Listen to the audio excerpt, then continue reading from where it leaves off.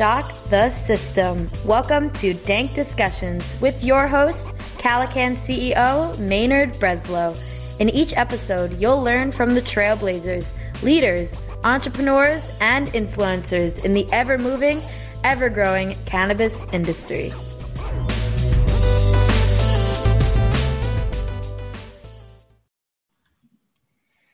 Hey there, everybody. Welcome to Dank Discussions. Today we're joined by Meg Sanders. Meg is the CEO of Canna Provisions. Uh, thank you for joining us today, Meg.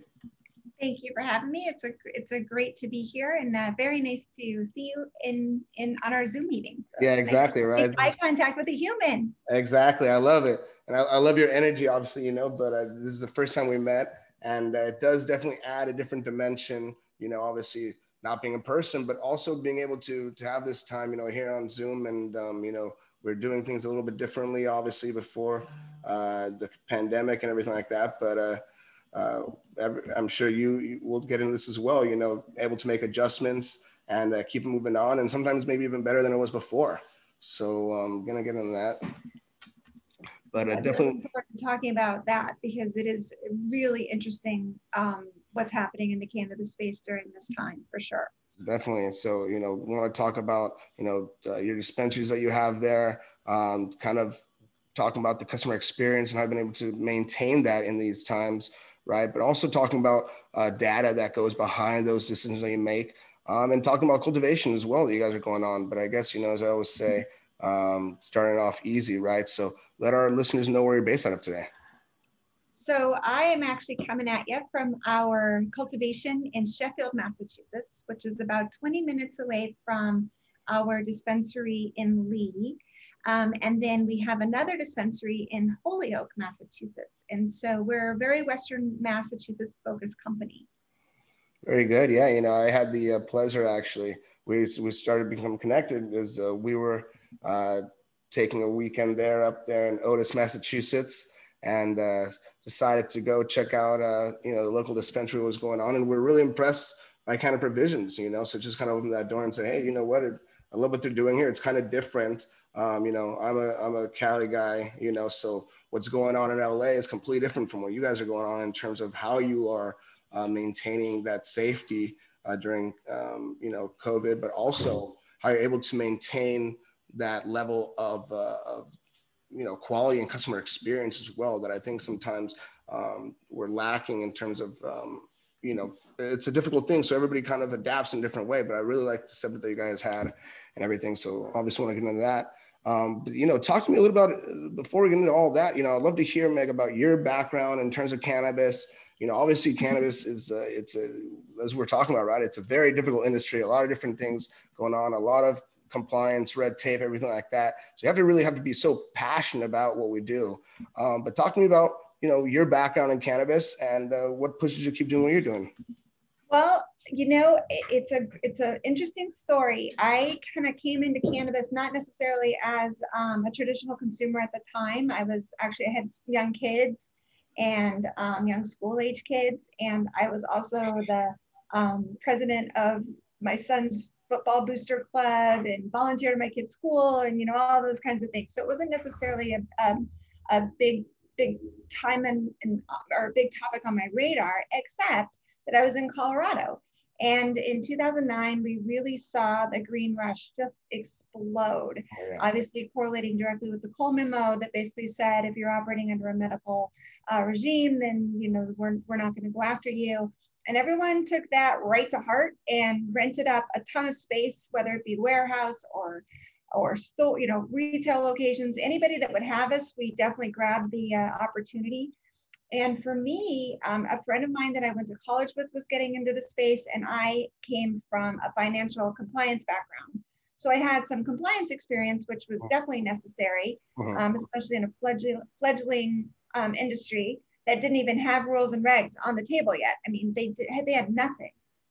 So um, it, it was a very interesting jump, but it was appropriate in that I really hit a limit as far as where I could actually end up in the current situation I was in. And I was at the top. There was no going anywhere else. And um, this was just a great opportunity to to uh, start in a brand new industry and hopefully um, capture new opportunities as a female And that's what I did and um, started in Colorado with um, multiple dispensaries up and down the Front Range, as well as a um, one acre under uh, one acre indoor cultivation, as well as a 26,000 square foot manufacturing space. So we were truly vertically integrated. That company was mindful, and I had the pleasure of being the CEO there until approximately 2017. So that was great, um, which also kind of went through the transition of medical to implementing um, Amendment 64, which the voters approved. And I was super fortunate to be tapped on the shoulder by the governor of Colorado, Governor Hickenlooper at that time, to serve on the Amendment 64 task force. And I was actually the only cannabis business member on the task force, which is so odd when you think about it. Um, there's only one person out of a 14 member task force to address actually how the business needs to operate and what's oh. important and what the pains are in the business. And so I did my best to kind of uh, fight my way through it. And um, but it was it was a great experience. We did a lot of work very very quickly, and then adult use kicked off. And man, we've never looked back. It just it was a, just a really great work by a whole bunch of people, including um, the Department of Revenue, including the governor, um, all of our legislators that were behind us, and then the industry who truly had to, um, you know, reinvent themselves again. And it happens so often in this industry when one little regulation just tips the scale in a whole different direction, creating either capital constraints or personnel constraints. I mean, there's just so many things about this industry that are that are really unique, and that is one of them but that that's kind of what got me going. And then as more and more states came online, um, we had an opportunity to consult. There was a real need for people to get help because oh. otherwise they were going to go through the years and years of pain that we went through. Yeah. And really hope that the industry keeps evolving and becoming smarter and better and faster and stronger. And that only does that if people with experience are able to help guide others. And so there's a real demand for consulting which my partner Eric Williams and I um, decided to focus on pretty much solely in 2017. He had already been focusing on it, but um, I joined the ranks full time and we really, whew, it was just a, it was a wild ride. I can just tell you between legislative bodies that need help, um, local governments that need help, and then obviously individual business partners that really need a lot of guidance. And what we're seeing still today is every state that opens brand new just creates another vacuum of talent. And the hardest thing to find in this in this industry right now is good operators. And that's one thing that Eric and I are very good at. And through um, consulting, we found Western Massachusetts. We fell in love with it and um, decided, you know what, now or never, let's jump back in and get it done and build this company fast. And that's what we did. So that's in a really short time frame of telling you how it went. It felt like forever, but this is uh, this this particular this past couple years has really flown by. Wow, wow, no, that's amazing. You know, you say talk about forever, but actually in this industry, you know, 11 years is not a small time, right? You know, so you know, there's a lot there that you know to unpack in terms of um, being a part of that task force, and you know, like you were saying, kind of fighting your way through is the only one who kind of has that inside knowledge in that regard. Um, you know, and a lot of other things there. But you know, one thing that that stood out, um, you know, like we are talking about, um, 11 years being a long time, right? So, um, you know, we see a lot of times, right, and it's kind of dying down a little bit, maybe not, right, about people from the traditional market, so to speak, kind of talking about, hey, these uh, these financial people coming in, and and, and and here you are, right? You're you're you're mother of school age kids, and kind of, uh, you know, maybe not a consumer yourself and everything, right? So can you talk to me about kind of that transition into the business at the beginning and maybe how uh, you were treated and maybe now that 11 years in, right? And all this experience, um, maybe if any, if that's changed at all, you know, and is, did you ever feel like, Hey, uh, I'm an outsider coming in or anything like that, or, or, you know, transitioning, right? I mean, you know, I have people who are soccer moms and they say, you know, I couldn't even talk about this part of my professional career, you know, and until we got a little bit more uh, legitimacy in terms of the, the stigma that was associated with it, right? So can you kind of talk to me about that that side as sure. well? Sure. So, well, first I'll start with um, when I decided to start the industry, I was technically working for our attorney. Mm-hmm. So it was a little easier to explain, and I was able to kind of keep my volunteer hats on with full um, with that with I think enough in I guess insurance personally that I felt comfortable with what I was doing and and wasn't um, being inauthentic, so to speak, because I truly was working directly with the attorneys in compliance. Mm-hmm. But as I do- dove into the operations, um, I did make a decision to walk away quietly, step down quietly of um, running the football program and, and, doing, you know, other things. I still volunteered at my kids' school. That was kind of neither here nor there. And it was funny. I did it really quietly. And about a year and a half later, a couple of the coaches got word that I was in the space and they called me and they're like, is that why you stepped down? That's ridiculous. You should have never done that. Nobody would have cared. And I'm like, you know what? I didn't want the program to get a black eye or, you know, to get anything at, remotely thrown at it um, with for because of my, you know, my business decisions. So it made sense at the time to do that. Um, and I remember I didn't tell really my family because it was just, it was, it could have been really hard to explain. Um, but then you were in Colorado at the time, correct? I was in Colorado, right? Yes, yeah. But you know what's so funny is the medical program and knowing how many people that we help every day in medical, right? I mean, mm-hmm. anybody who's been in this industry understands the reach and the touch mm-hmm. and, mm-hmm. and has heard these personal, heart wrenching, I mean, just break your heart stories of what people have gone through.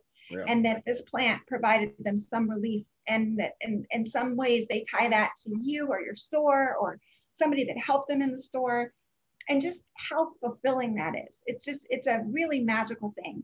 But for whatever reason, especially in the beginning, it wasn't very legitimate. You know, like people just dismissed it and until until they were personally affected and then saw mm-hmm. relief from the plant, they were the first to be like, whoa, whoa, whoa. But then what do you always hear about? Well, then I got cancer and then I understood. And I'm like, mm-hmm. how can we not be more understanding, you know, about other people's deal? Like, how are we so arrogant that we know what other people should be going through and that they shouldn't be using this plant. They certainly don't know what they're doing. But then, whoa, when you need it, boy, you better get it. And it's just, it's a fascinating human study, right? But then what was really fascinating to me was when Amendment 64 passed and we implemented it on that January 1 day, right? It started and you saw the lines and the headlines. And it was almost like overnight we became a legitimate business. And I'm like, how weird is that? We were helping hundreds and hundreds and hundreds, if not thousands of patients in Colorado. And there's 100,000 patients at that time. And that wasn't legitimate. But somehow now that we can sell weed like alcohol, all of a sudden we're real and a real business. And it's just, it's, it's an interesting, it's an interesting, you know, transition, I guess, and an interesting growth of the industry. And I think we kind of saw that a little bit here in Massachusetts too, because we were here consulting during medical before adult use started. And then, you know, it was a very similar kind of thing of how do you work the legacy market with the regulated market? And how do you not step on the toes of the legacy market and provide a ramp for the legacy market to thrive in this if they want to? And if they don't want to, how do we create a business scheme that they can still function? And I think that that's a really important path. I mean, not everyone that grows, you know, under five lights, if, if even that many, one light, you know, can make the transition, nor do they want to make the transition to a thousand and it's painful. I mean this is this is not easy. It's it's hard work. It's labor intensive. It's moving water. It's taking measurements. It's data. It's you know killing plants if they don't look good. We're not we don't we're not an infirmary here. You know we're commercial cultivation. And if a plant yeah, yeah. is not happy here they don't they shouldn't be here. It's kind of like humans right? Yeah.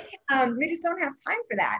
And so i think that that's a really interesting problem that we all face in every state of honoring the legacy market making sure that they have space in this and figuring out how to make sure that the, the regulated market just doesn't completely squash them and run them over. And Massachusetts, even just with the latest round of regulations, has really done a phenomenal job. They bump the plant counts. Um, they make sure that you can have ongoing genetics so that your, your clone counts don't count against your plant count. Um, now you can have up to five caregivers, five patients that you're a caregiver for. Um, it might be a little bit more. I might be talking about old. I'll have to look. But my point is, is that there is an honoring of where this plant came from, and an honoring that there are people that paid ultimate sacrifices to keep this plant alive in the United States and in other countries, as you mm-hmm. know. Mm-hmm. And we owe it to them to honor them and to figure out a way for them to exist in this space. And I firmly believe that there is zero competition between the two. And I, I really do understand in LA and California market, there it's a little different because there are these dispensaries. There's a lot to go. There's a lot of people, a lot of space, and this market has been active in California for what 25 years, 30 years now. Oh, yeah. And so, how do you put that back in the can? It, that's really hard. So, I would say that the challenge really is how do you, with the most thoughtful way, and causing least pain to people that have been doing this, how do you figure out a way to, to spread it out make it okay for everyone to participate at some level? And I believe the faster we do that, I believe the better companies, the better experiences, the better products um, we're going to have on the market. And I think freedom of choice is the most important thing we can offer in this space. And so that's where we are. Um, I love the legacy market. I love a ton. I learned so much from them. I learned about strains. I learned about different patient stories, about different cultivation methodologies. And I just don't ever want to see, I don't ever want it to be that we're so high and mighty in the regulated market or as big MSOs or whatever that that that data that that these people that have done so much with this plant aren't able to contribute somehow. I just I don't think that's right. And I also don't think it hurts the market. I think the more people that are aware and thoughtful of cannabis just means we all benefit, period. And that's the biggest focus and as far as canna provisions goes. And that is we want to know, we want to meet you wherever you are on your cannabis journey. Whether you touched this plant in the 60s and haven't been back and now you're back, whether you've never experienced this plant whatsoever, whether you are a daily consumer and are interested in maybe some of our infused products or maybe our new cultivator chemdog who's we're going to bring you know his strains to the market here in massachusetts for the first time as far as in the regulated market. That's a really cool thing. And i just feel that there's space for everyone. And i think this this knowledge of we're only working with this little teeny tiny group of consumers is just false we see more brand new consumers like never have touched the plant ever in our stores than people that consume the product. It's fascinating. And they come to us, in my opinion, because of the experience that we have focused on, which is where are you in your cannabis journey? What do I need to do as a business owner, as a guide in my store to make sure that you get the answers you need for your safe consumption of this product and successful consumption of this product. So we don't want anyone to have a bad time, right? So we really take our time to walk through it. And as you maybe saw, um, even with curbside, even with you know working with people outside, so it's COVID safe, we will stand at your car window as long as you will have us and answer whatever questions. If we can't do that, or you need to go, we're like, call us back, call us from home where you can take notes and we'll spend, we have people that actually answer the phone. And that is really unique in the cannabis industry. You don't even get a phone tree. It is, hi, welcome, to, well, thank you for calling Canna Provisions. This is blah, blah, blah. How can I help you? I answer the phone all the time. And I think that that is our commitment to humanity. It's our commitment to this plant deserves a one-to-one, face-to-face or person-to-person interaction to truly honor it and make sure that you as a consumer understand exactly what you have. And we as retailers are being as responsible as we possibly can. And by eliminating this deli style at the counter, pick up your crap, and, and you've got people lined up behind you, and budtenders are like, hurry up, hurry up, hurry up. Um, that is, we've just completely eliminated that. And it is a high touch. It is um, definitely a little larger payroll, but it's worth it. And we believe it's worth it. And we know it's worth it because our customers tell us.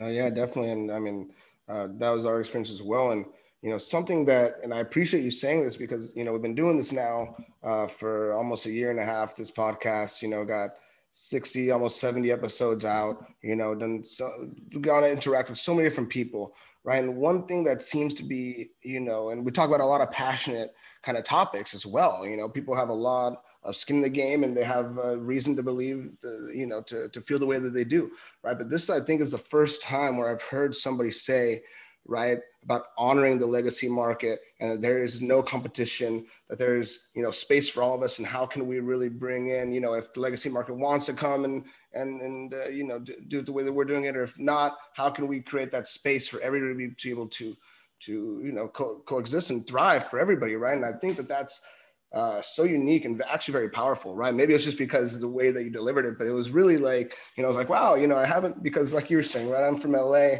and, uh, you know, talking to people who are really trying to do the right thing. And I mean, I come from the, you know, traditional market, legacy market, you know, that's where I came in, you know, 18 years ago and everything like that. So have experience on that. I've experience now on the compliance side and everything. So it's just, um, you know, to hear that, you know, cause like I was saying in LA, it's uh, it's very difficult, right? When a person has, has a dispensary, um, you know, on Sherman Way, and then there's two other dispensaries on there, and they're you know they haven't transitioned over, right? So they get to have different uh, different rules for themselves and uh, yeah. you know, different prices, and it's sometimes harder to compete, right? And you have to kind of be that boutique and have that kind of customer experience in order to even justify your existence for it, right? So you know, and but you you have experience in Colorado and now in Massachusetts, right? So you have experience in a place where maybe that legacy market um, is still very much felt and and um, you know uh, very powerful. Obviously, have you did you see a difference between kind of Colorado and Massachusetts in that regard?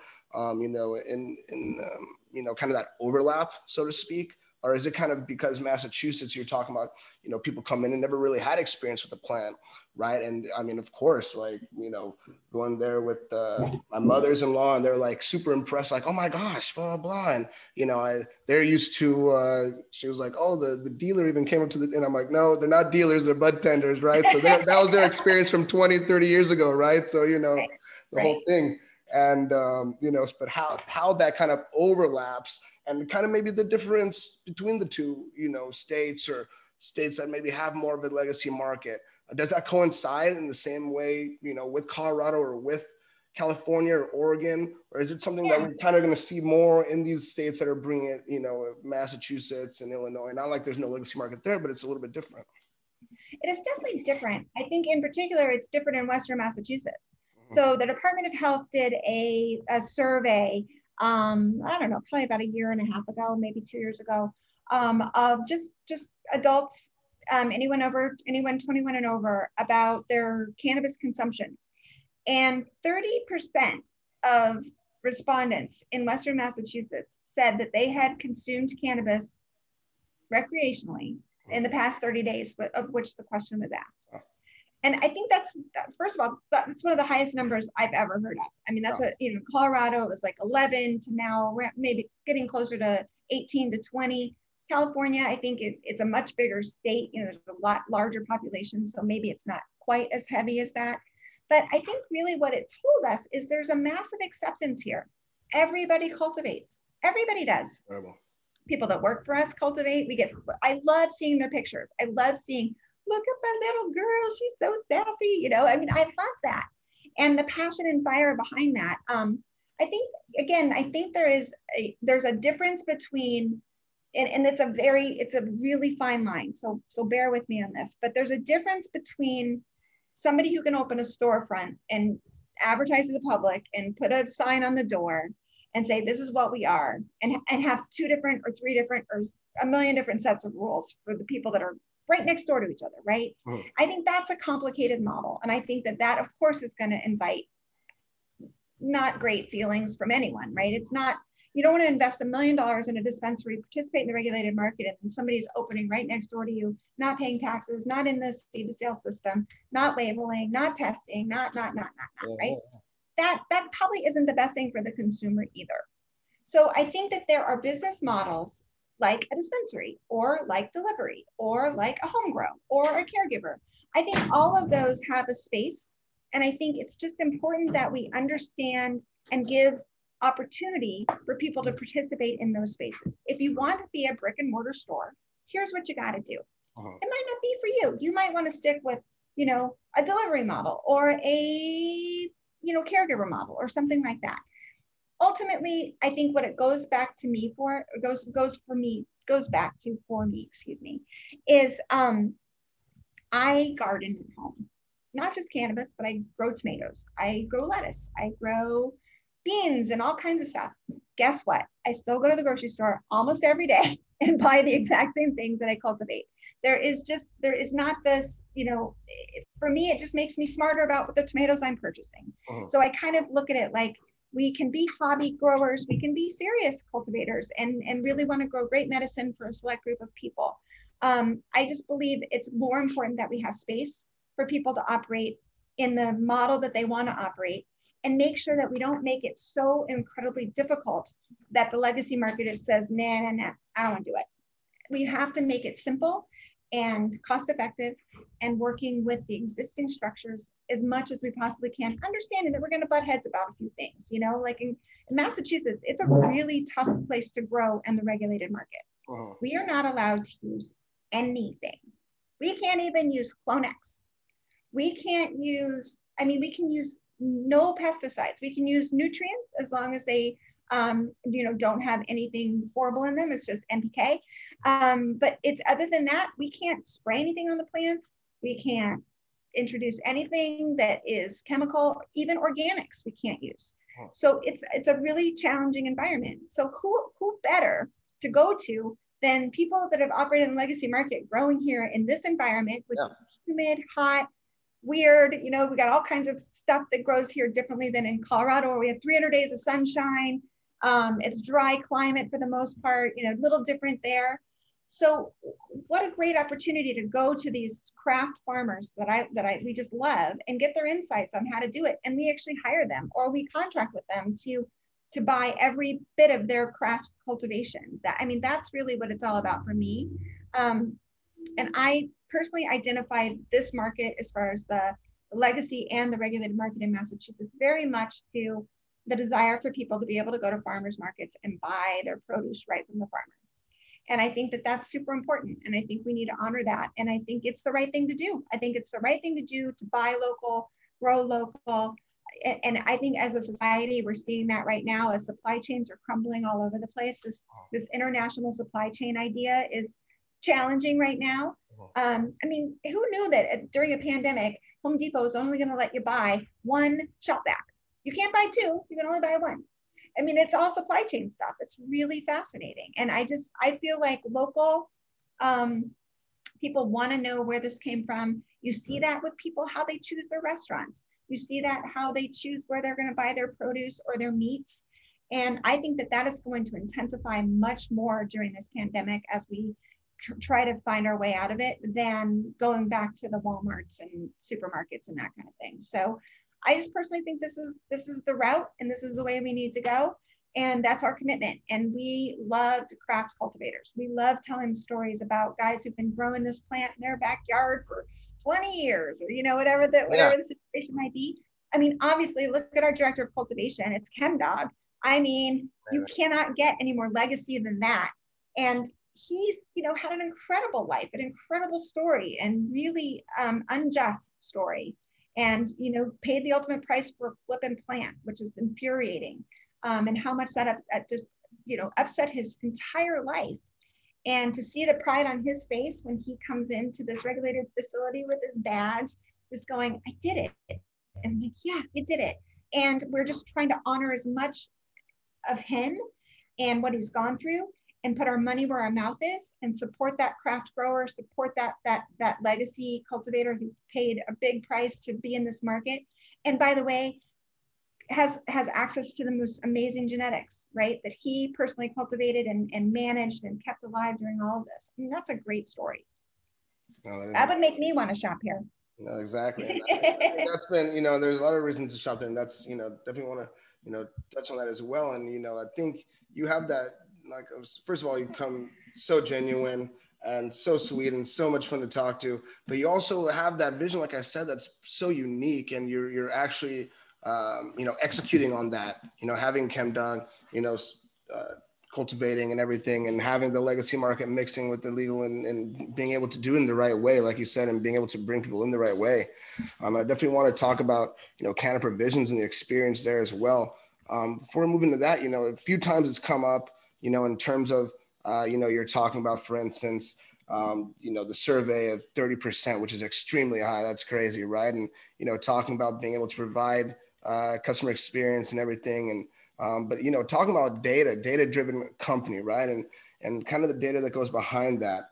Um, can you talk to me about the importance of uh, having data? Where do you source your data, and how do you execute on that data? Because I think sometimes people get kind of overwhelmed. First and foremost, not knowing where to start. Second of all, you know, okay, great. Like, what do I make of this now, right? I can look at these, you know, all these numbers for days on end, but what do I do, right? So then, how do you actually turn that and translate it into, um, you know, uh, real actions that we can take and to optimize our businesses? Three, two, one, zero, ignition, liftoff. We at Calican are passionate about cannabis and CBD marketing, branding, SEO content, and web design. If you are a cannabis owner and you know you need an uptick in business or an upgrade in the way your customers perceive you, come check us out at calican.com and schedule a time to speak with us today.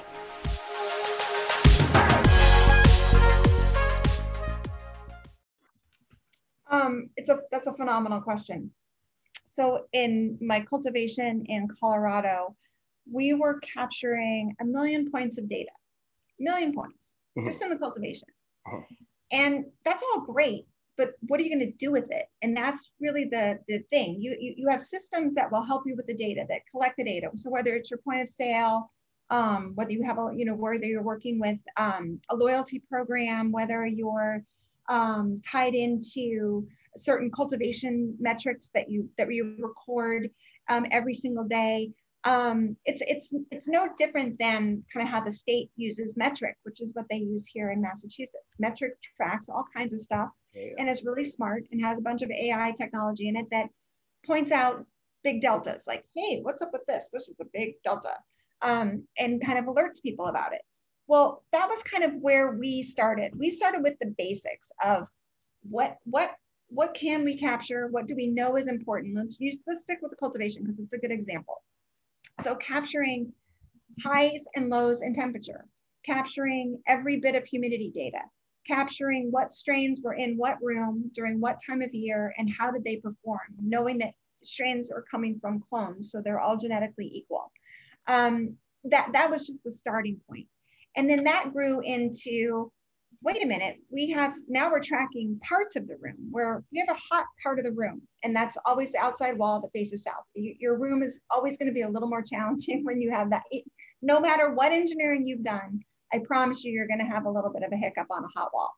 As, as you will on a cold wall. And then figuring out, well, wait, there's certain strains that don't care. So let's make sure we always put those strains there. Well, if you're not tracking this data, if you're not collecting it and then tracking it, you're never going to know that.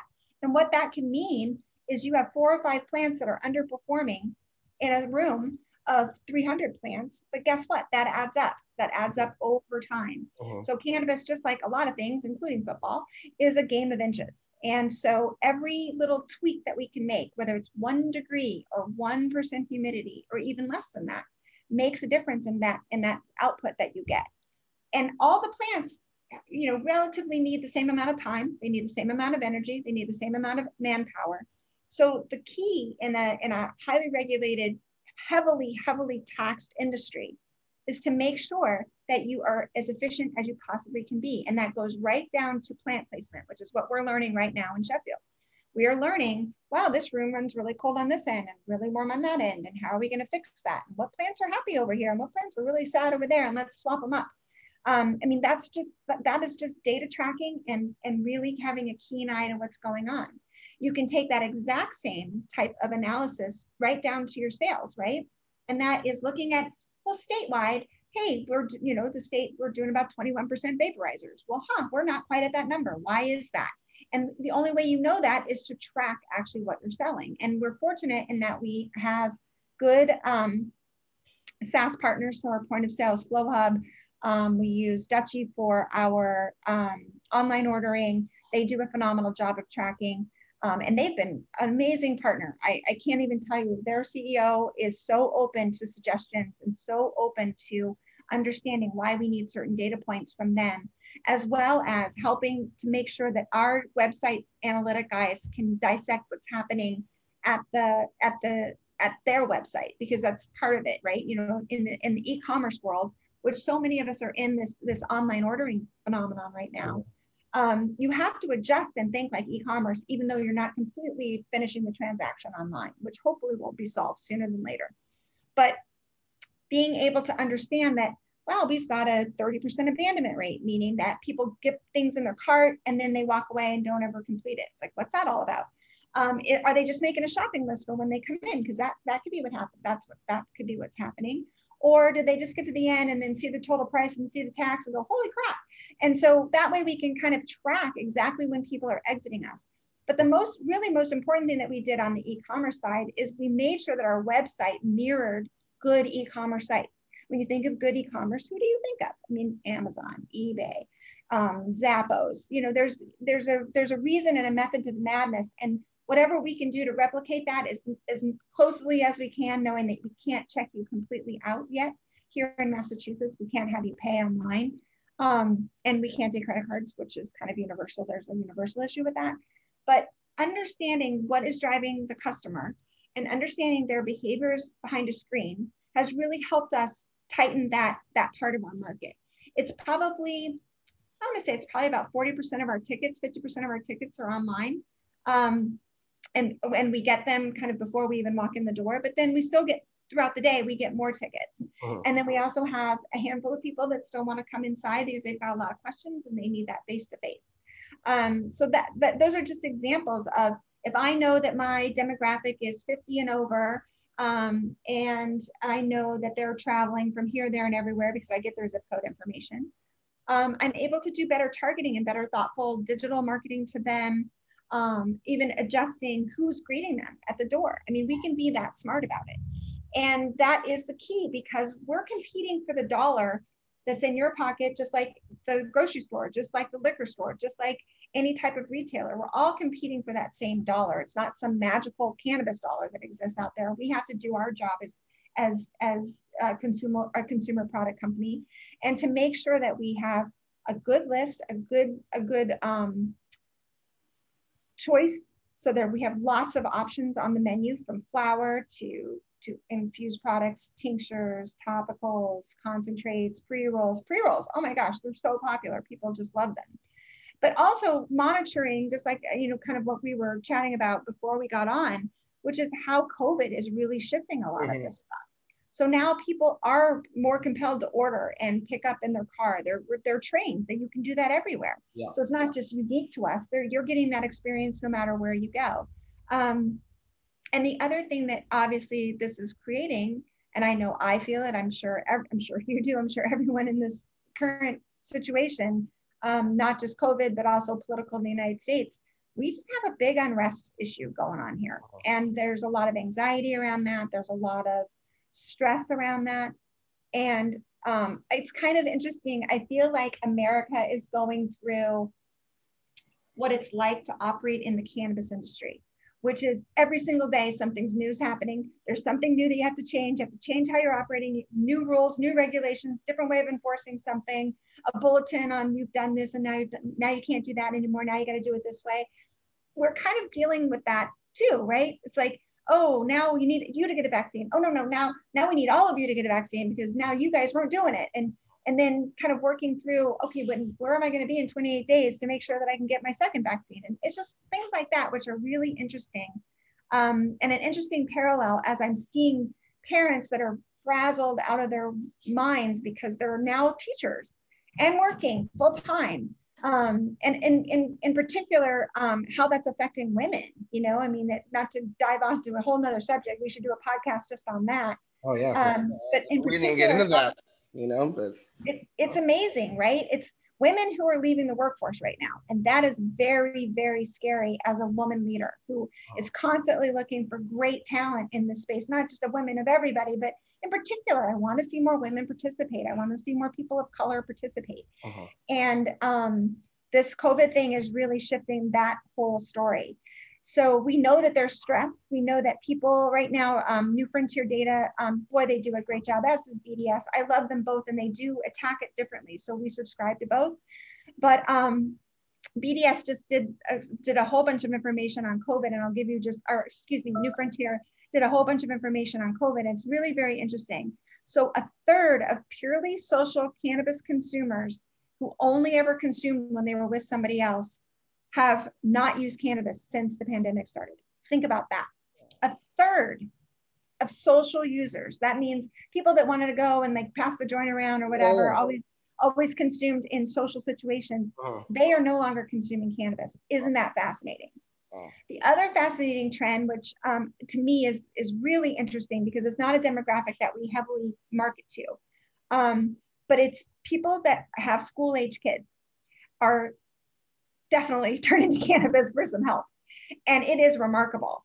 And um, that in particularly translates to women too, because we know that women are leaving the workforce to, to manage children at home right now.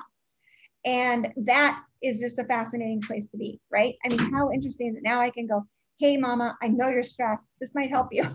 I know you're probably not sleeping very much. I know you're freaking out because of this, this, and this, and this.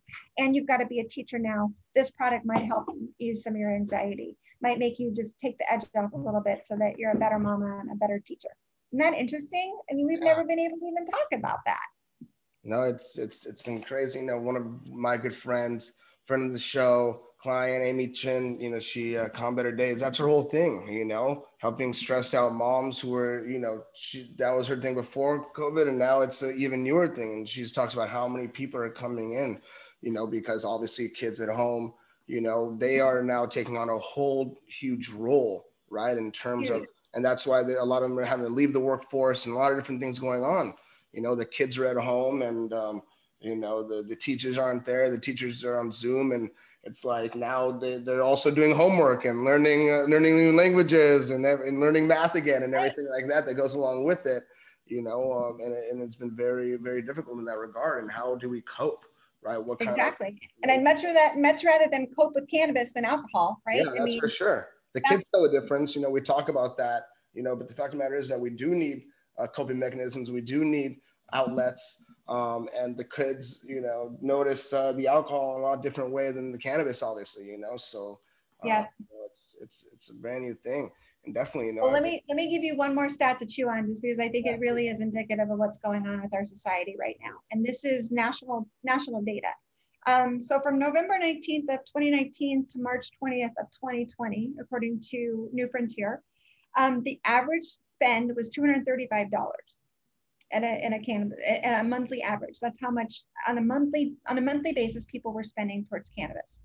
Between April 20th and October, April 2020 and October 2020, that number went up 32% to $310. wow. If that doesn't tell you people are stressed and freaking out, I don't know what else will. And what a great space to be in as far as in this industry to actually be able to offer some peace and relief to people that are really challenged right now.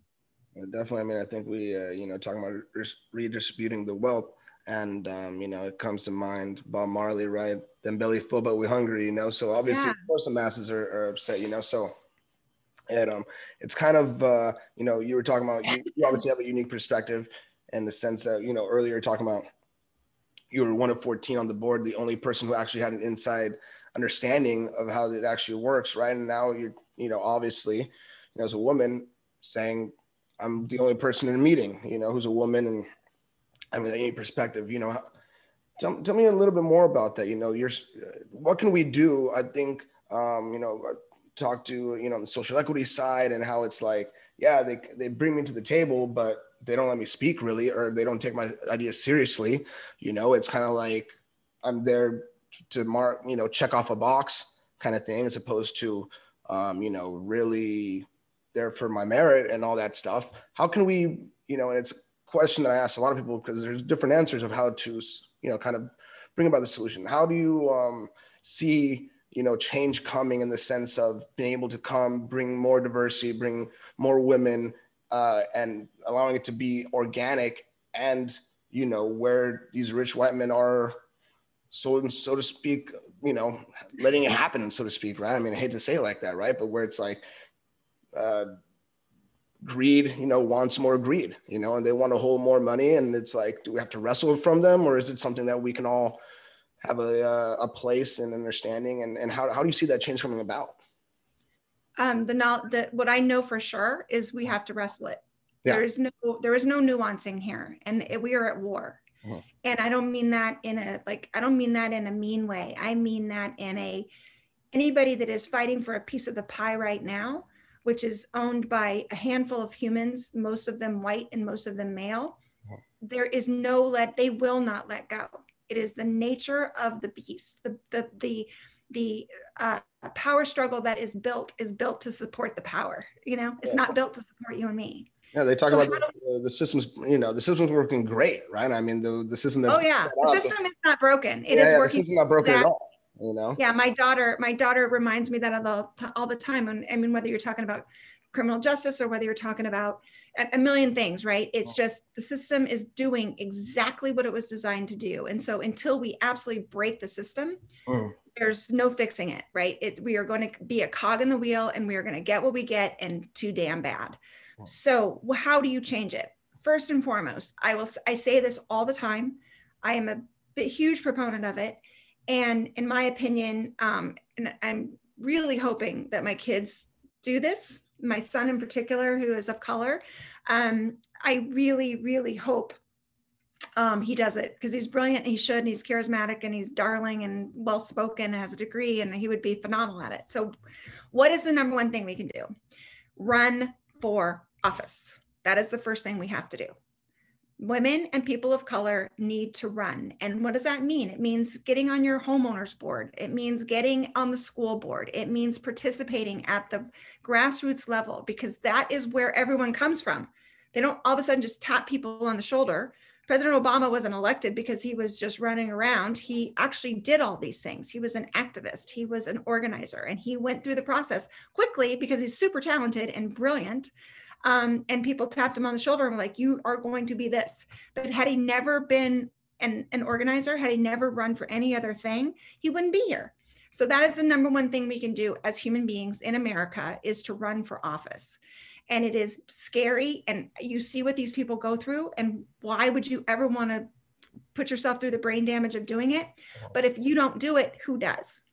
So that's the first and foremost thing that i think is the critical part the critical path if we're going to talk about our industry and why it's so hard to get into it's the regulations I mean, Maynard, think about it.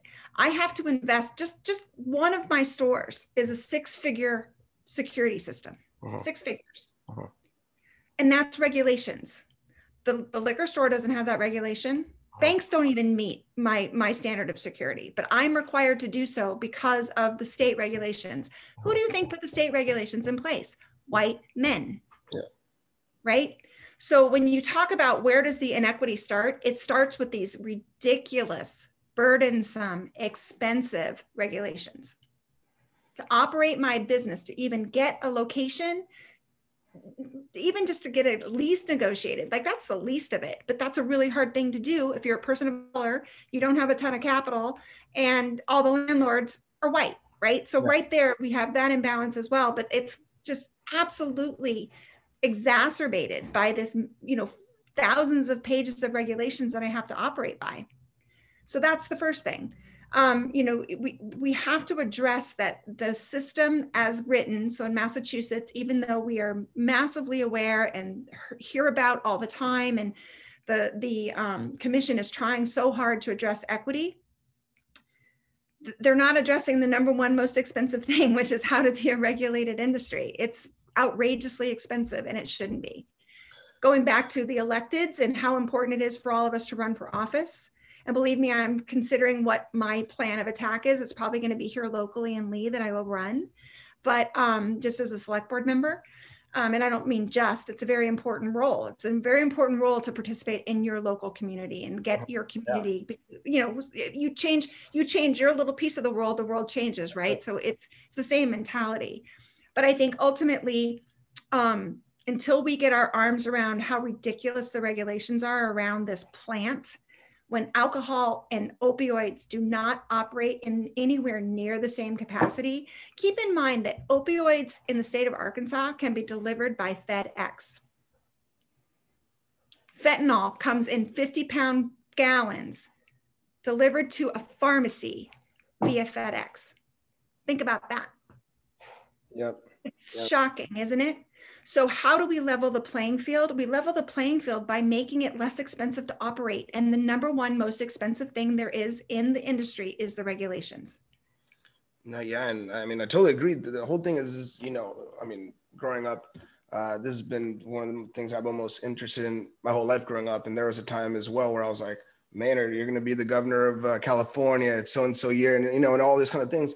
And then I started thinking, you know, and maybe because I become more jaded, a little bit more cynical, and I started thinking, you know, just playing the same rules with the system. You know, you're still playing within that system. You know, so it's like, you know, obviously running, of course, and we are seeing changes that are being made, you know, over the years, and we're seeing a lot of progressiveness and everything going, uh, you know, coming into play. Um, but at the same time, we're still talking about playing within that system, right? And having to play by those rules. And the same thing, like you're saying, uh, in terms of the regulations, right? These, regu- these regulations were created by these people who want to maintain their power and they know that only they and their friends will be able to pay for this. So they're keeping it and without actually saying, hey, this is for us, not for you. They're writing it in, in you know, and like you were saying, in a financial way where they know who will be able to afford it and who won't be able to afford it. And we you know we can write in social equity all this stuff, but they won't be able to afford it. So guess what? They're going to get loans from us, and we're going to take that percentage. We're going to take that power from them immediately. You know, exactly. so it's, like, it's it's you know it's it's kind of like this catch twenty two where we're talking about the system's broken, but we need to play now within the system um, in order to make a change, right? I mean, where is it that where does it come down to the to the point where we just say, you know what, you know, fuck it, we're not going to play by these rules anymore. We're going to create a new thing, um, and uh, you know, and and you know that coming about, I think people are there's so much social unrest. It's almost scary, right? It's scary to see what's going on. Um, in another way, it's kind of like, you know what? I mean, yeah, I mean, it's been coming to this. You know, it's been coming to this for a long time. You know, of course, it's coming. And it's needed. It's happen at and it's point. needed. Yeah. And it's needed, and we need to flip over the table. Yeah. Um, I don't want to flip over the table like the what we're seeing right now because it's all that is is a whole bunch of white people that are at the Capitol bitching about life's not fair. It's like, are you kidding me? I mean, this is, the counter, this is the counter of what was happening earlier in the year, right? So, I mean, of course, yeah. like they were bitching earlier in the year about what was happening in the year. And now here they now are. Seeing that, uh, you know, it's kind of this, that's how it's kind of moving, you know, but yeah. there's something going on. Um, right. Well, how do we, how do we get here, Maynard? I mean, let's, let's be, let's be very honest with one another. And I will be deadly honest with you. We have become complacent as a nation why women are still making 70% of what men make is because we're complacent with what we have. Isn't this enough? Isn't this enough? Well, you have schools now and you can go to, you can go to, you can own property now and you can have a credit card now, you can get a mortgage now. And oh, you can even go to college now. Um, I mean, you know, you, you think about it. We are, we're all, we were all um, like rocked into complacency. Like, well, we gave you this and we gave you that. And shouldn't you just be happy with what you got? Well, no, you shouldn't be because it's not equal and and and look i'm the first to say and i will quote my dear friends from at zingerman's deli in michigan who tell, teach this on a regular basis. We, we train with them all the time. But um, life is like you know how do they how do they say it? Um, fair is a planet and we don't live there. So you know that's that is true. Like you know this whole notion of it should be fair just because it's fair. Well that would be great but that's utopia and we don't have that. So how do we level the playing field look, I have a lot of ideas on it. And I think that there's, the, the, in, in particular with cannabis, the challenge is because the regulatory scheme makes things so expensive. Um, and because we don't honor the legacy market like we should by like saying, hey, you have 10 plants in your basement, great. As long as they're tested and as long as you're tracking them, maybe you should be able to introduce that into the into the regulated market. Why not? What is the harm? As long as it's tested and tracked, who cares? Um, that you know that that's one small example. Um, but ultimately what what it is is that because it's so complicated to get in because it's so expensive and who has the money? The white guys have the money. So the, are the white guys going to want to get i even have trouble raising money. As a woman who's been doing this since 2009 i have trouble raising money. They want to take my arm my firstborn child oh, yeah. you know every my cat you know everything that's valuable to me and give you this little piece, you know, because the money still has the power. Uh-huh. And how, the only way to fix that is to change the amount of money that's required in order to p- participate. Uh-huh. And that that's in every possible schema, scheme of what we exist in, whether it be the mortgage lending, whether it be getting a car, whether it be opening a bank account, getting a credit card. I mean, it is, we see discrimination constantly. I mean, just think about it. In 1973, 74, when Richard Nixon was was was impeached, and I was nine or ten years old. Um, a woman couldn't own a woman couldn't get a mortgage a woman couldn't get birth control without her husband signing that she was it was okay to give her birth control. I mean, think about that. I can't even fathom that. I mean, there's still so many issues, right? There's so many so many problems, but I mean, that's not even. Uh, and that's how it's it just, for thousands of years already, right? I mean, so it's not even. Uh, it's not even an American thing. It's a it's a human thing, or you know, it's a human thing. It's just it's insane. So I mean, so we we haven't come that far, and it's only been this very short time time frame. I'm I'm 54 years old, so it's been since you know, since I was a kid, it's in my generation that these changes happened. And yet we, you know, that people are like, look how far you've come, look at you. And I'm like, oh my God, you know, white guys still own my company. I, I own a little piece of it, but white guys own my company. That's a fact. It's just how the money works. So again, how do you change this by by making by making sure that that it's not so expensive to participate. That's the number one thing that I can think of. And I'm asked all the time, how would you fix equity? And I would be, you know, I would fix equity by including the legacy market in a more thoughtful way and making it less onerous to get into the business. And again, it's about a plant that doesn't harm anyone. It's just absurd. I would love to see the same regulations on fentanyl. I would love to see that. I would love to see trace and track that has to happen like the level I have to happen. It's it's it's it's insane to me. So, you know, and, and around what? Well, around a whole bunch of guys that saw an opportunity that when cannabis becomes legal, it's going to become this giant IPO and everybody's going to make a ton of money. And by sheer nature of that, I will not participate in the stock market. I hate it. I think it is absolutely a lie and a farce, and I just will not participate. So, you know, whatever happens in cannabis when people just keep making money in the stock market, good on you, but that's not what I'm about. So I think ultimately um, the biggest change we can make is to change the regulatory scheme.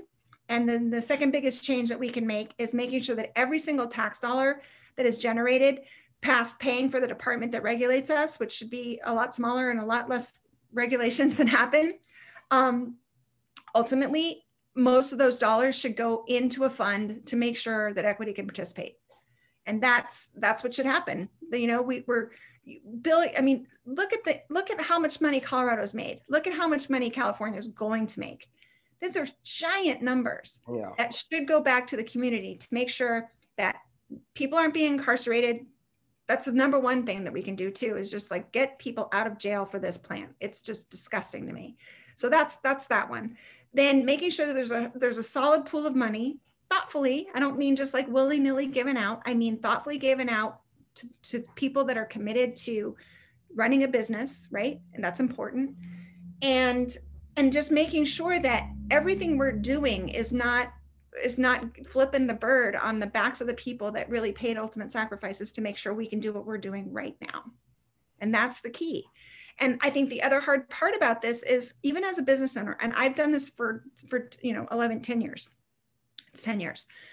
Um, this is a really hard business it is it's brutal. And i wouldn't i seriously wouldn't wish it on anyone. People are always like oh, it seems so, seems so fun. You're growing weed and da, da, da. and i'm like you're growing weed. I have 130 employees. I'm in a pandemic.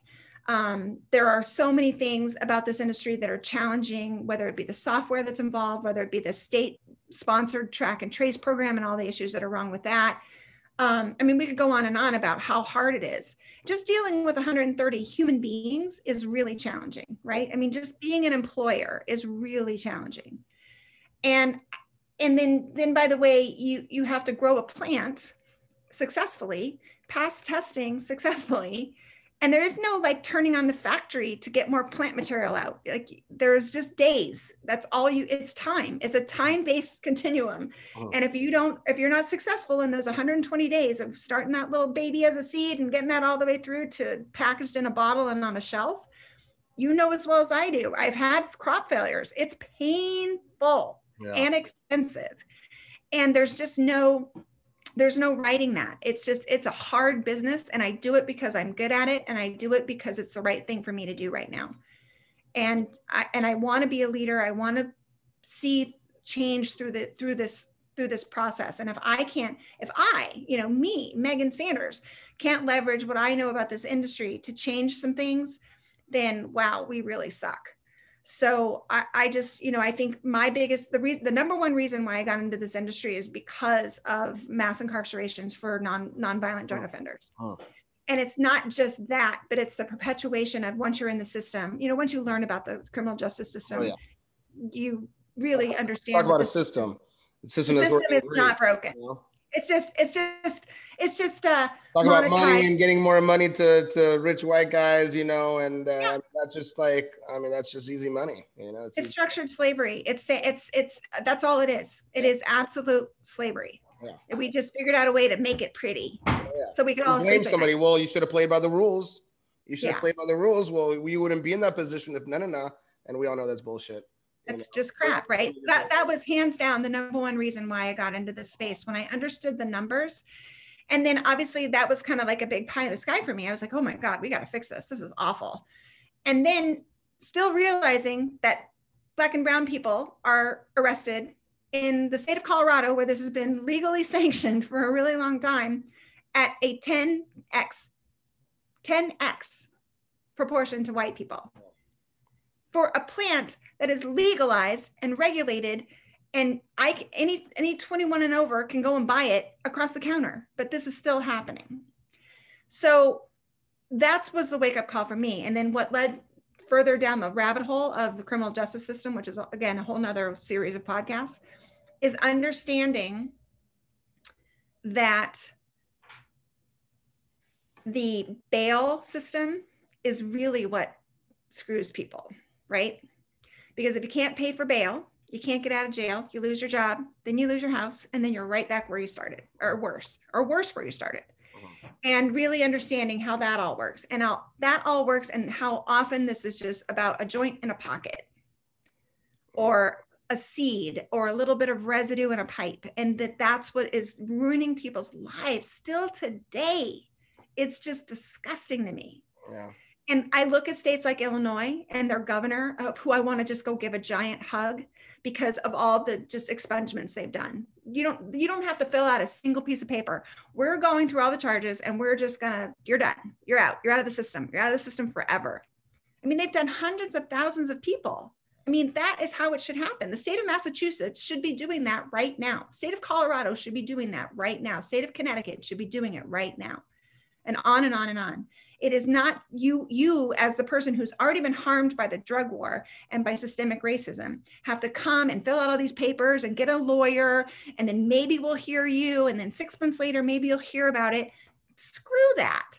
We know who you are. We believe me the criminal justice system is brilliant in keeping track of people especially people they want to track. Yep. and they just it, it just should be done done. And so what is the big thing that could happen today? Well, we could just let's wipe all those felonies and and and misdemeanors off the records. Let's just start right there. So that's a huge part. Um, ultimately, though, it's funding, it's fairness, it's how do we provide access to, to make this all happen. And I- would love to be, I would love to be an incubator. I would love to make that happen. The incubators that we've seen for equity generally charge a pound of flesh you know it's it's a big big number that you end up owing and that to me is um, not in line with what we're trying to do you know so let me tell you what we're doing about it at Canna Provisions. And um, and hold on one second. Hey Taylor, can you please get my charger? Sorry, sorry about that. It's all good. It's uh, it's in my computer bag. Um, what can we do about it? So yeah, the, the for computer. Um, the our vision for our manufacturing in particular is to create a co-op kitchen that we don't want equity. We don't want we're, we're not going to we're not going to take a pound of flesh out of you. We want to see what products you want to make. We don't want you to have to give up your day job. We don't want you to have to go raise a ton of money and get and you know get a compliance officer and a director of security and you know we'll we'll pay for all that because we're going to do our own kitchen anyway. But we're not 24 hours in the kitchen so why don't we set aside significant amount of time every day that people that have an idea about bringing a consumer product to the cannabis market can come and create that product. And we'll help them get it tested we'll help them formulate it we'll help them get it shelf stable and all those things. And the only thing we're going to ask out of it is that we have the first right of refusal to sell it at our stores. Oh. And if uh, going all of this stuff, if doing all this stuff works and you're like, holy crap, I want to be in the cannabis industry and this is what I'm going to do, then we will help you figure that out. We'll go to our lenders, we'll go to our, you know, we'll go to a whole bunch of people to help you figure out your space and your place. And if you really want to make this your full time business. But today, you don't know yet. You don't even know if your product's going to be accepted. And what a huge roll of the dice to do, right? That's a big, expensive proposition in consumer markets, which, by the way, most fail. Most are not successful. Oh, yeah. So that is our vision. And that's even that's a hard vision because, of course, our investors are like, well, how do we make money on that? I'm like, it's not about making money. It's about doing the right thing. It's about being the, the, the, the guiding star of this is one way that it can be done we have a kitchen, we have compliance, we have security, we have all of those things. And you'll never be alone. We'll always be with you because we have to. We owe it to our investors, we owe it to ourselves to make sure our license isn't in jeopardy. But but why would we do it any other way? And there's so many really great restaurant concepts that have come out of this type of, of, of situation where you're able to take your food truck concept into a brick and mortar concept and if you were successful there you can t- you can at least have a, a business model to go to a bank and say see how much money i've already made? See how much i've already sold? That's a different concept right? And it's different if your consumer market is already for sale in a in a store in a in a state regulated market think about how much easier it's going to be to raise money. That's huge. Yeah. So that's the vision. Um, a lot of people are doing that. They have a vision on the co-op grows I think that's a little challenging. It's uh, because just the the the biometrics that need to be in place to make sure there's no cross contamination and uh, other things that could happen in a co-grow space is a little bit more challenging. But I wouldn't I wouldn't say I wouldn't do it. I just know it's harder. This makes a lot more sense to me, and I truly believe this is where the market's going. And we all see that. We see that in the numbers. It's going from that raw flower to the milligram model, and that's where most new adopters enter the market is in a milligram model. So why not empower one of the greatest little chocolatiers here in the in the Berkshires to, to start a new business model? That's great, but he doesn't have to give up his day job. He can do his day job. And then and you know a few hours a week he comes over and works in our kitchen and we sell it and we get feedback and reviews and we see how it's going and off to the races. And maybe he's like this is really hard. I don't ever want to do it. And i'm like i'm so glad it didn't cost you any dollars. Yeah you know? years and money and raising and everything I mean, and, and ultimate idea. failure, really failure is the biggest thing. I mean, you have to realize, Maynard, I would say 90% of cannabis businesses are bankrupt. They just don't know it yet. Uh-huh. Wow. And that's a fact. The 280E element alone is makes this a, a, a really impossible business model. Uh-huh. And I can just tell you, as a standalone retail, if you are at 9% profitability, you're doing really, really well. Uh-huh. Most are not they, and they just don't know it yet. I mean, that's the facts. They don't know it. So that, that's a huge focus of ours. And then the other huge focus that we're doing, you know, just from the small, tiny contributions we can make or calling our legislators um, on a very regular basis. And now that we have a switch, we have a we have a Democratic uh, president, we've got a Democratic Congress. Um, you know, there's a lot of hope writing that the Moores Act and the Bank Safe Banking or Fair Banking Act will make it through. And that's a game changer for the entire industry. And that's what everybody's waiting, but that's also what the rich white guys are waiting for. So we have to be, you know, we have to be thoughtful shepherds of what's going to happen when that does happen. Because that's, I'm telling you what, Sally bar the doors when that happens. You want to talk about corporate greed? Yeah. Go for it. you know, so I, I don't know. I think there's, you know, I think the cannabis industry is a, a very interesting mirror for society, right? This, this is the place where uh, changes are made, right? You know, we're talking about the slavery and then how people are, you know, modern slavery and, and um, you know, they say that if uh, something is, uh, you live by the sword, you die by the sword, right? So this is the way that also we have to, uh, to make a change, right? This is the way that we've uh, been in the system. This is the way that we have to bring people out as well, you know, in the same way. And, and I love that idea, you know, you call it like an incubator kind of thing. And, you know, we, we see these obviously all over tech and, you know, there's a big, all, you know, Silicon Valley is pretty problematic in its own right. We see that. I think sometimes we give them a free, uh, think that there's some benevolent people who have our best interests in mind. And we all know that that's uh, not necessarily the case all the time. But, um, but yeah, I mean, that's an amazing idea, you know, in terms of giving people that space, give them the shot to do that um, and to grow their own business and see where it goes from there, you know, and uh, yeah. And hopefully we're really successful at it. Hopefully it can be a model that we can Like, wouldn't it be great if, in order to participate in a highly regulated industry, you had to do this model? Like, wouldn't that be cool? Amazing. I mean, you everybody should have to go through something like that, but yeah, very good. So we talked a lot about you know the obstacles facing obviously society. I mean, we can go on, and this is stuff that I'm so passionate about. We talk about you know being yeah. passionate about cannabis and marketing and all this stuff, but I'm so passionate about these issues. This is what I've grown up thinking about, you know. But um, you know, talking about the obstacles facing society and facing the industry at large, right? And we talked about some of the obstacles that you face as well, obviously in terms of um, you know raising money and uh, being a woman in the industry and uh, and and regulatory. Just I mean, I couldn't right. I wouldn't wish this on anybody, right? It's like we just said that I wouldn't wish this on my worst enemy, right? But uh, it's uh, you know I haven't heard that one yet, but. Uh, you know, is there is there anything else that's been a huge obstacle, or is that pretty much uh, it, you know, with, with those things? What's the biggest obstacle you face in your business so far? Um, I would say those are really it. I would say the you know the regulatory framework, the expense of getting into business is really hard, and um, and you know then then just growing a plant is is it's a tricky thing. You know, there's a reason why it's hard to be a farmer, and a lot of that is kind of all the other issues we've talked about, but it is difficult. And um, I think ultimately, I think ultimately what this industry can grow into or can be is something that anyone has access to. And that, and I think, like I said, wouldn't it be great if we were the shining example of for other industries of how to make things more accessible?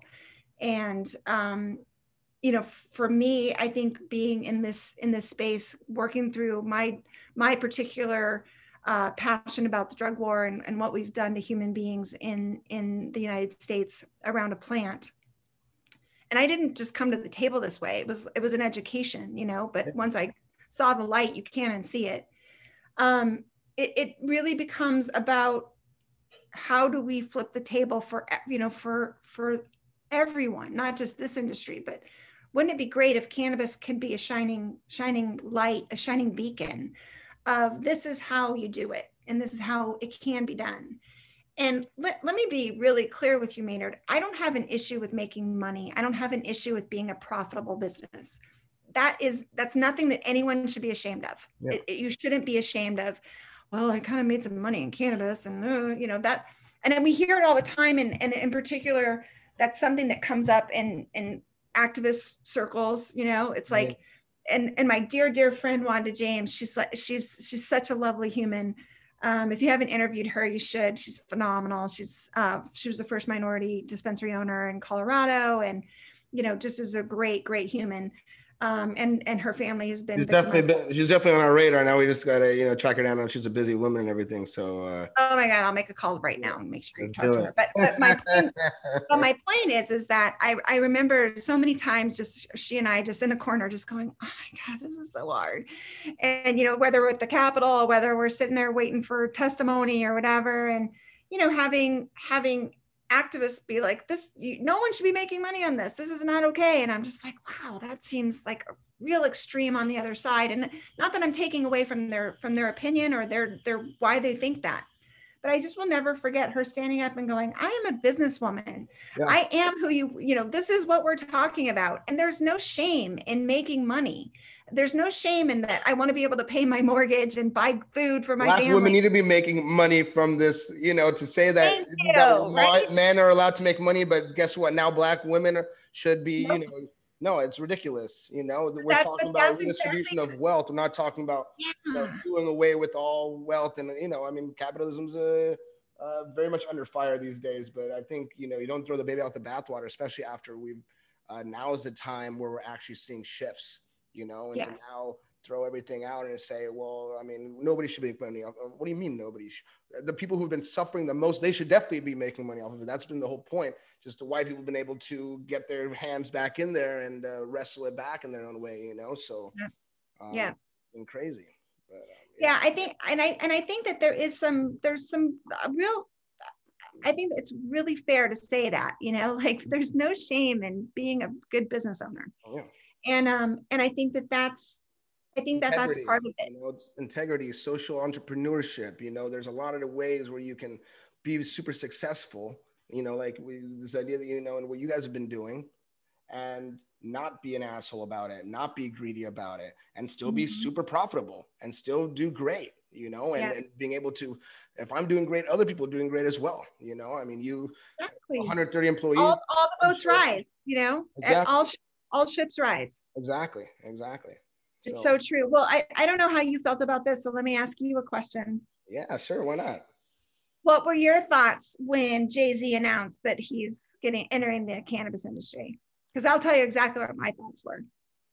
I mean, listen, I, I, to be honest with you, Jay Z was my first rap album that I bought, you know, uh, volume two, uh, you know, and so I have a different, I have a perspective from Jay Z where I don't know the guy personally, right? But I've definitely heard enough about his story to know that he came from the Marcy Projects.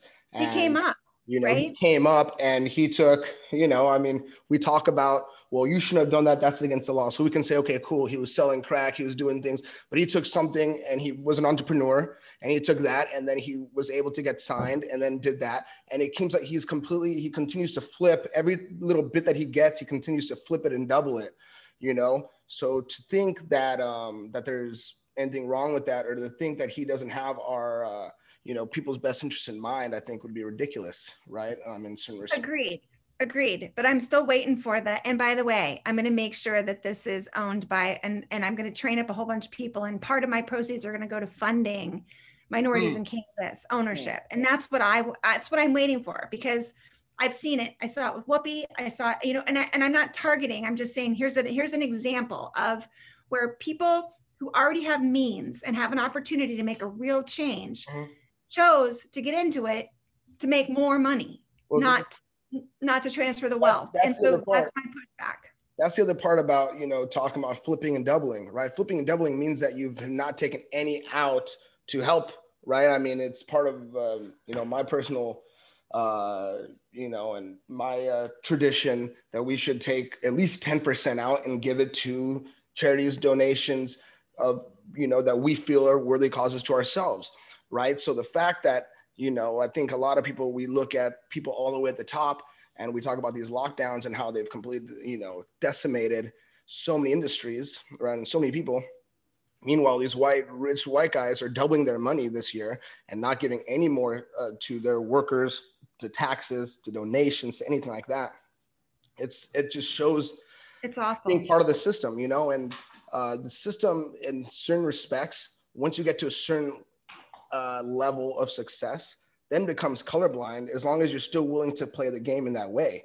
you exactly. know? So we see people that are just continuing to, you know, um, unfortunately continue that. And then they become kind of a, a poster child for, well, don't you see, they made it, right? But it's like, listen, Thank you. you know, yes. like, you know it's, it's as opposed to you know where are you helping people along the way and that's been the whole thing you know it's like like you were saying that all the boats should rise so it's like you know uh, how how many people are he employing and, and giving back to the communities right so instead of destructing your community for your own personal gain uh, you know giving back so in a me- in a meaningful way, you know, like in a way that that actually affects change. And that's, I mean, I think that's that's again, that's another area where I think Massachusetts really tried hard to make sure that cannabis industries donated, and Uh-huh. that was part of your entire application. And they review that, by the way, every renewal you have. You have to be able to point to these are the these are the people that we donated to, and this is why. And not that they have a judgment of whether we domain, donated to the Humane Society versus the food bank or what you know whatever that might be. But it's really interesting to me that they they like I said, Massachusetts has made a huge effort to do the right things. We just it's in a system that is designed not to support that, and so therein lies the challenge. And and I'm right there with you. Look, I I what I would love to hear is is Jay Z comes up with this idea and then he's going to franchise it really cheap for a whole bunch of equity players in various various areas or something like that. And I'm not telling him how to run his business and I'm not completely judging him. I'm just saying that unfortunately, when I've seen celebrities enter this, um, even Willie Nelson, for example, you know, who is a big farmer advocate and whatever, it's like well, where, where, how is this helping? Is it seems to be Willie, and it seems to be Willie's group, and it's Willie's financial group that is helping, that is benefiting from this. And how is it helping farmers? How is it helping the people that you say you stand for and you're passionate about? Yeah. And I think that that lift under the hood is what the transparency is critical. Yeah. And I hope that I'm held accountable. I hope that my business is swimmingly successful and that people listen to my podcast, read things that I've, you know, read, read things that I've been interviewed about and hold my feet to the fire about it. Meg, you said you were really passionate about the drug war. Well, what'd you do to change it? Meg, you said you were really passionate about equity. Well, what'd you do to change it? And I hope that I'm able to point to the co-op kitchen and I hope I'm able to point to, well, I ran for office and this is what I'm doing. And I'm uh, changing things, how things are happening locally. I'm changing my local police force because that's a big change if you can do that. Not that they need changing. I mean, Lee, Lee, Lee police are great, but you know, I, I don't know. Like, I, I just feel like we we do a lot of celebrating of success, but we don't. I don't know that there's enough whole accountability on what you were supposed to do and what you should have done. And again, this kind of goes back to the flip side of that is like we shouldn't be able to make any money. And I'm like, well, I, what am I working for then? I mean, I should get paid. this is how it works. So it's a it's a fascinating space to be. And I I wanted I I know I know we have a time thing, and I I do want to just wrap up with one one thing that has driven me, at least for the past two or three years.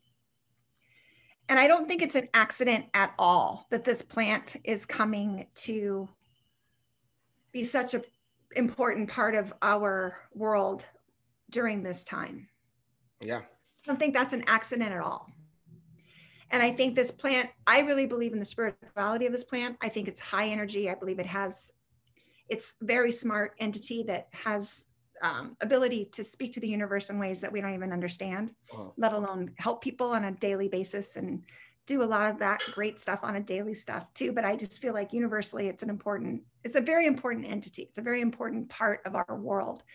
And I sit here and look at the craziness that's happening right now between pandemics and upset with human beings and false upsets with human beings who think that something's being uh, we want our country back. Where, where the hell did it go? It's right here you know?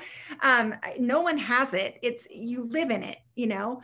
Um, and i think this notion of this plant and the power of this plant and its ability to really affect change is why it's here now. I, you know why didn't this happen 20 years ago? Why didn't this happen 50 years ago? Well it didn't today it's a massive topic of conversation and i think it's supposed to be. I think it's very on purpose. And whether the plant was able to manifest that or whether the universe somehow got their arms around it and said well now's the time. We got to release this plant because it's going to heal the world. And what if that's true? What if that is what if this is the beacon for healing the world? Not just of illness but of social illness of mental you know thinking of, of abs- absolutely changing how we think about other humans and should we have a 50 you know thousand square foot home? Should we have a home that has 37 bedrooms in it? I mean should we do those things? What's what is wrong with us that we need seven houses and 27,000 cars and you know I don't understand it. And I, and I think as a as our earth is struggling and things are challenged right now with resources and people need food. And we are about to see i'm just telling you we are we in my personal opinion we're about to see social unrest like we've never seen it. And it's not from the people we're seeing at the capitol being assholes. This is from people that are going to lose their homes and they don't have food for their children. This is where the social unrest is going to come. And i'm hoping that this plant in some way is a is a guiding guiding light out of that and a change for our entire society and I'm, I'm, I'm not saying, I'm, I'm just being really clear that yeah. this is, um, it is time to change. And what are we all fighting for? This, the world we live in right now is, it's not working. So we've got to fix it. And maybe this plant's the, one of the guides, who knows? I love it. No, definitely. I mean, you know, you know, you know, we're wrapping up, you know, it's, uh, we're seeing this, this place where in between, looks like we're between a, uh, you know, rocking a hard place, right? And we're seeing this unrest, and it seems like there's uh, there's one option that that that uh, you know, there's a revolution coming, right? But uh, you know, it seems like it's either revolution or paradigm shift, you know. And I think if it's paradigm shift, I think cannabis is definitely a big part of that. You know, if it's continuing on the same way that we've been doing the rest of our, the you know, since uh, history of humanity, then it's obviously revolution and war, and the way we've been doing it that hasn't been working anyways. You know, if it's uh, you know the uh, cannabis is definitely at the forefront right now, along with everything else. Um, so there's no doubt that I think uh, you're 100% on track with that you know. So, um, you know, as as we're closing down, as we wind down, um, you know, obviously, uh, very grateful to have you on.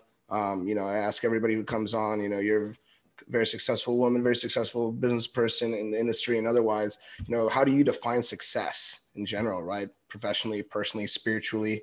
Maybe just touch on part of that. You know, what does success look like for you? Um, I'll tell you a, a, a small story. Um, I was at the MJ Biz conference. I want to say it was 2017. Um, and I've been involved with that entity since it, since its inception. So we've been part of it, you know, either speaking or presenting or you know whatever um, for a real long time. And I remember um, after a pretty hard year, kind of shifting from CEO of Mindful to a consultant and kind of feeling like I wasn't super appreciated on my exit from Mindful, even though I felt like we re- did really great work and built a very strong company that ultimately was purchased um, by LiveWell um, re- this past year. So, you know, clearly we built something that was valuable. Uh-huh. Um, and that was a real struggle too, because believe me, if you think I'm bitching about being the only woman now, even three years ago in this industry, I was very much the only woman at the table for a lot of conversations. Um, and that was even back when we had a lot more women leaders in the in the industry. Um, at any rate, I remember standing at a, an event and I remember standing at the railing and looking across the room and going, oh my God, there are 20 people, various levels of success in this space that I'm that I can see right now in front of me. And I know without a shadow of a doubt that if I called them on their cell phone right this moment or tomorrow morning at 6 a.m. or tomorrow night at 11:30 p.m. that I would wager 100% of them would pick up my call. Mm. And what hit me, and I, I was like literally brought to tears at that moment when it hit me that, oh my God, it's the people. So, how do you judge yourself? How do I judge myself around success? It is hands down, how are the humans that are interacting with me? How are the humans that work for any entity that I'm part of? How are they treated and how are they feeling about themselves? Mm-hmm. And if it isn't empowering, and empowering doesn't mean easy. Empowering doesn't mean, oh, we all love each other. Empowering means having the grit and courage and tools to make changes in your life, to be a better human, right? And if i can't look out in the in the wave of everybody that i interact with and think i'm leaving this place a better place and i was not successful no matter how much money i made no matter how much we sell a company for no matter what our revenue is. I mean none of that matters. And i think that's ultimately for me what makes what what is my driving force every day to sleep at night. Because if i'm not in if i'm not level with that integrity on a daily basis it creates issues for me so i don't sleep so I know that that's my driving. I know that's the most important thing to me is that I want to make sure that my interaction with humans makes it better for them, even if it's the smallest little hi, how are you? Or hey, how's it going? Or you know, just saying hello to a stranger. Yeah. Um, that's that's what that's what success is to me. And and and I, you know, yeah, I want to be able. And let me be clear, I want to be able to pay my mortgage, and I want to be able to send my daughter oh. to college. That's a given but I would if if I was no matter what amount of money was involved, I would live in the house I live in right now. I wouldn't change a thing. I would still ski in the same ski resorts. I would still, you know, there there isn't I know that for a fact because I've had the opportunity to experience, you know, some wealth in my life through previous relationships and whatever. But um, I just know for a fact that money does not buy happiness. Money makes life really complicated. And people make happiness and people make peace and being being able to look around my community and know that when I walk into the post office or I walk in the grocery store, if I'm walking down the street or whenever my mailman walks by, that it's, hey, Meg, and I'm able to say, hey, um, that is what life's about. and that's for me my driving force is being really solid in human interaction and relationships. That's the most important thing to me. And i really believe that if you're good at what you do and you work hard and you get up and um, and uh, are brave and courageous and do hard things which we do every day. Um, humans do it every single day. Um, that in essence creates the opportunity to kind of be at peace with what with what you do you know? That's that's the thing. Money's a byproduct. Money is a byproduct of success. It is not a goal. And whenever i hear people say my goal is to make a lot of money i'm like that's not a goal. That's a byproduct. Yeah and you can do well by doing good and that is something i will live by. And my definition of doing well is not a big number. It just isn't. Yeah. Um, the only thing that compels me to want to make more money is to allow me to employ more people and allow me to build more things that good people can come and work in. And that's that's what i that's how i look at it. It's not so i can go buy a house in hawaii. That's not what it's about. Wow. I love that. You know it's uh you know i was always raised with the uh, adage you know money and alcohol make you more what you already are. If you're happy, it'll make you more happy. If you're not happy, it's not. It doesn't. It's not going to change you for better. You know, it definitely can change you for worse in some respects. But um, you know, I love that. You know, people and just in this conversation that we've had, you know, you have uh such a high EQ. You know, I can see you know already the, the passion that you have for the people that you work with. You know, you're talking about going into a room and you know uh, who would pick up your call at 6 a.m 11:30 p.m and uh, successful people. But I would wager as well that you know uh, 130 people that are working for you. I've never worked for you. But I'm sure they love you too, and um, and uh, you're pleasure, you know, to have on, and um, uh, definitely uh, an amazing goal, amazing thing, and uh, say you're very successful in regard to that. There's no doubt about that. So. Um, as we close, you know, how can our listeners find out more about Canna Provisions, connect with you, uh, stop by your uh, store in in, uh, in Massachusetts, but also become involved in, in all the other things that you that you have and the, all the passion projects you have as well. Love it. So um, cannaprovisionsgroup.com is our website, also at Canna Provisions Group on Facebook and Insta. Um, and um, my personal information is available right on LinkedIn as well as on my I'm, I have a I have a public Facebook page and my contact information is right there.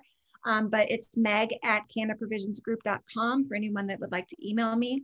Um, and um, look, I I have so enjoyed this, and it's really been an opportunity to to have a, a great brainstorm session with somebody who's like minded. And I appreciate that you're passionate about it because a lot of people that I talk to only want to hear about the business and the money and the you know they don't want to hear about what is behind what is the heartbeat of this business and the heartbeat of the business is the people that carry the weight of this plant so that we can all sit here now and make money on it and if we don't honor that then we're all going to hell that's just fact that's well, just a fact Thank you. Well, I appreciate that, and you know, real recognize real. So you know, it's uh, I appreciate that means a lot to me because uh, I know the you're a real one. So uh, and we need more people like you in the industry. There's no doubt about it. So so much. Thanks for jumping on. Good luck to you, and uh, yeah. thank you so much. Thank you. Have a great day. Bye.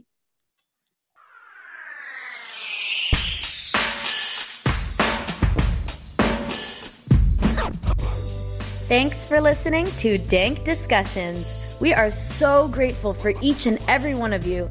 Please make sure you subscribe and leave a review. We want to continue making dank content you want to hear, so give us some feedback about the topics you want covered. Feel free to reach out to us at grow at calacann.com. That's G R O W at C A L A C A N N dot com. And follow us on Instagram and Twitter for our latest updates.